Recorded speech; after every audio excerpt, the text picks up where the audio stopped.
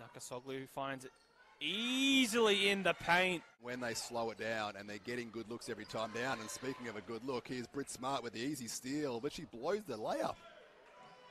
Nakkasoglu mm. waiting, but finally puts it in. So the Sabres get the two anyway.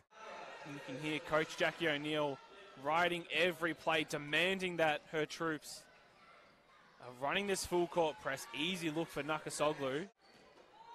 Down to into the final minute. Nakkasoglu putting up the deep two, tiptoeing the line. To the Thunder's credit, they, it's not that they were playing a particularly bad defense or anything like that as Nakkasoglu.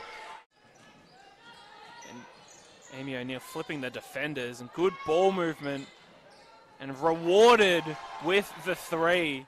So Jerry comes back in with her two fouls. 4.36 to go in this first half. Nakkasoglu in rhythm, wide open. Shot clock down to five. Need, shot needs to go up pretty quick. Pino puts up the buzzer beating three and banks it in off the glass. Look at the box score, and it's almost a mirror image. Nakkasoglu all the way to the ring, finishing with the left hand.